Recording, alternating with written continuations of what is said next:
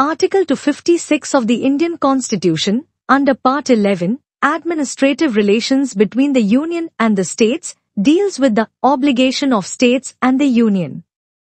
Here's a breakdown of its meaning. Obligation of states, it mandates that each state must exercise its executive power, the power to enforce laws and policies, in a way that ensures compliance with the laws passed by Parliament and any other applicable laws in that state.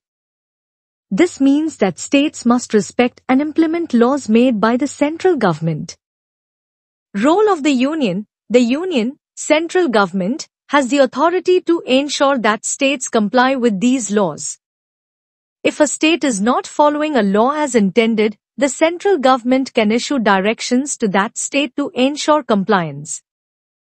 Purpose The central government's power to direct states is essential for maintaining uniformity and harmony in the application of laws across the country, thus ensuring a stable federal structure where states follow national laws.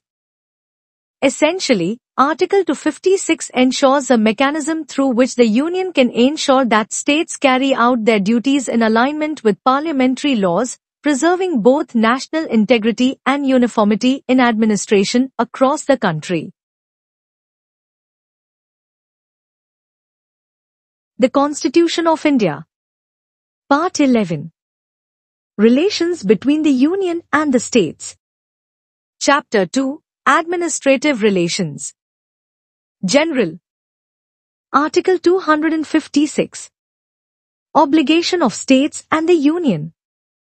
The executive power of every state shall be so exercised as to ensure compliance with the laws made by Parliament and any existing laws which apply in that state, and the executive power of the Union shall extend to the giving of such directions to a state as may appear to the Government of India to be necessary for that purpose.